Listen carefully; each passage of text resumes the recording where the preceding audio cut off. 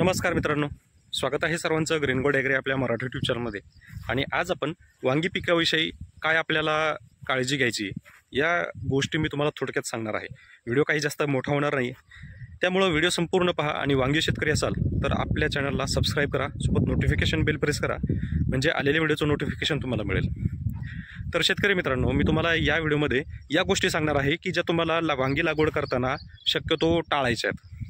तर काही महत्त्वाच्या टिप्स या व्हिडिओमध्ये मी तुम्हाला सांगणार आहे. तर यामध्ये सगळ्यात पहिली आहे की वांगी लागवड करताना बियाणं जर तुम्ही बाहेरून घेत असाल आणि तुमच्याकडे जर वेळ असेल तर लक्षात घ्या नर्सरीतून बियाणं घेण्यापेक्षा रोपं आणण्यापेक्षा पॅकेट जे आहे तर हे घरी आणा. घरी रोपं तयार करा. रोप तयार करण्यासाठी फक्त तुम्हाला दोन तीन गोष्टी लागणार आहेत. एक ट्रे दुसरा म्हणजे कंपोस्ट. कंपोस्ट खतामध्ये सुद्धा तुम्ही करू शकता. कोकोपीटच पाहिजे असं काही नाही आहे तुम्ही कोकोपीटशिवायसुद्धा सुद्धा शेणखतामध्ये आपलं बियाणं रुजू शकता. काही प्रॉब्लेम येत नाही आणि रोपही लवकर तयार होतं. दुसरी गोष्ट तुम्ही ज्यावेळेस रोप ते घरी तयार करता तर घरी तयार करत असताना तुम्ही फक्त साधारण नीम ऑइल जरी वापर केला तरी रोप चांगलं वाढतं. नर्सरीमध्ये खूप घातक कीटकनाशकं वापरली जातात. परिणामी ती रोपं आपल्याकडं येईपर्यंत ही पूर्ण रोगटलेली असतात. लागवड केल्यानंतर पंधरा ते वीस दिवस ती वाढतच नाहीत. आणि याच्यामुळं आपल्या उत्पादनावरही त्याचा फटका बसतो. सोबत काही रोग पण आपल्या पिकावर येतात. जसे की गोजवणं व्हायरस येणं बुरशी लागणं वांगे सडून जाणं आपले व्यवस्थित डोस असताना सुद्धा. हे परिणाम आहेत रोप अवस्थेत असताना त्याच्यावर वापरलेली घातक कीटकनाशक बुरशीनाशक. नंबर दोन. वांगी लागवड करताना आपल्याला अंतर हे व्यवस्थित निवडायचं आहे ज्या शेतकऱ्यांनी तीन फुटापेक्षा कमी अंतर ठेवलं आहे त्या शेतकऱ्यांना यावर्षी खूप जास्त प्रॉब्लेम येणार आहे. परिणामी उत्पादनावर त्याचा फटका बसणार आहे.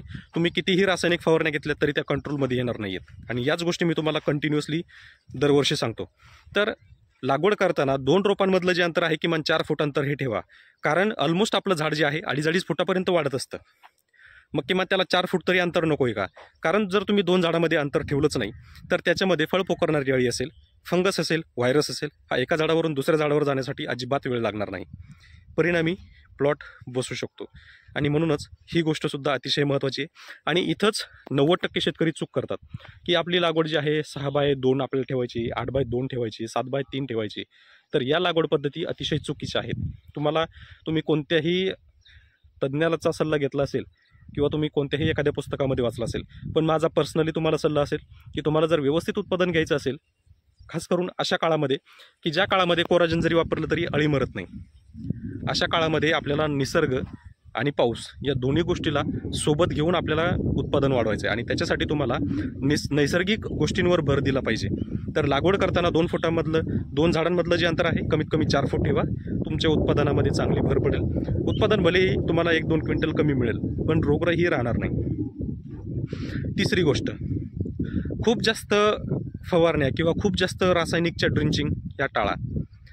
याचं कारण पण तसंच आहे. पहिली गोष्ट रासायनिक खत टाकताना आपल्या पिकाला त्याची गरज किती आहे हे आपल्याला ओळखायचं आहे. जर तुमचं पीक रोप अवस्थेमध्ये असेल तर रोप अवस्थेमध्ये तुम्ही एकोणीस एकोणीस बारा एकसष्ट ह्युमिक ॲसिड किंवा एखादी ॲमिनो यापर्यंत तुम्ही ड्रिंचिंग करू शकता.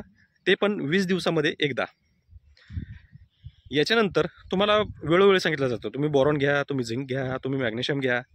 तर अजिबात नाही. तुम्ही एखादा चिलेटेड मायक्रोन्युट्रियनचा जर स्प्रे घेतला किंवा एखादं ड्रिंचिंग घेतलं तर ते पिकासाठी खूप होतं. आणि परिणामी आपल्या जमिनीमध्ये आपल्याच जमिनीमध्ये कितीतरी न्यूट्रियंट्स अवेलेबल आहेत. फक्त ते पिकांपर्यंत जात नाहीत. ते का जात नाहीत? तर पहिली गोष्ट तुमचा रासायनिक डोस हा कंटिन्युअसली चालू असतो. त्याचा इम्पॅक्ट डायरेक्टली आपल्या जमिनीतल्या जीवाणूंवर सुद्धा होतो.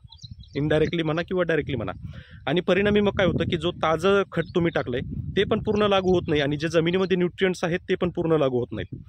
त्यानंतर जमिनीतले कीटकनाशक ड्रिंचिंग करणं. जर तुम्ही जैविक शेती करत असाल तर शक्यतो कीटकनाशक ड्रिंचिंग ही टाळा.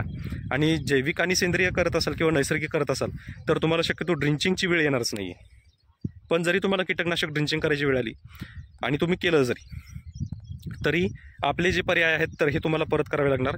म्हणजे जसं की ट्रायकोडर्मा सुडोमोनास हे ड्रिंचिंग करणं ह्युमिक देणं या गोष्टी ज्या आहेत तर या तुम्हाला कराव्या लागतील आणि त्या केल्याच पाहिजेत. त्यानंतर वांगी लागवड झाल्यानंतर शक्यतो जी गरजेची फवारणी असते तुम्ही जर फळ पोकरणारी अळीवर तुम्हाला फवारणी घ्यायची असेल तर ही फवारणी लवकरात लवकर झाली पाहिजे. म्हणजे साधारण फुल अवस्थेमध्ये असतानाच ही प्रिव्हेंटिव्ह जी फवारणी आहे तर ही लवकरात लवकर झाली पाहिजे. परिणामी जी आळी असते ही फळामध्ये फुलामध्ये येते आणि त्याच्यातूनच फळात जाते. तर ही आळी तिथल्या तिथंच मरून जाते. जर ती फळामध्ये गेली तर ती मरणं मुश्किल होतं किंवा झाडामध्ये गेली शेंडाळीसारखी तर तीही कंट्रोल होणं मुश्किल होतं. त्याच्यासाठी आपल्याला नियोजन हे अगोदर करायचं आहे रासायनिक शेतीमध्ये तुम्हाला क्युरेटिव्ह करू शकता परंतु क्युरेटिव्हमध्ये सुद्धा रिझल्ट येत नाहीत. प्रिव्हेंटिव्हमध्ये तुम्ही नैसर्गिक करू शकता ऑर्गॅनिक करू शकता आणि रासायनिकही करू या गोष्टी तुम्हाला लक्षात ठेवायच्यात. तर मित्रांनो नक्की कळवा हा व्हिडिओ तुम्हाला कसा वाटला आहे व्हिडिओ आवडला असेल तर व्हिडिओला लाईक करा चॅनलला सबस्क्राईब केलं नसेल तर सबस्क्राईब करा. आणि हो व्हिडिओला शेअर करायला अजिबात विसरू नका. तसेच तुमची वांगी पिकासंदर्भात इतर काही अडचण असेल तर कमेंटमध्ये विचारू शकता. तर चला भेटूया पुढच्या व्हिडिओमध्ये. धन्यवाद.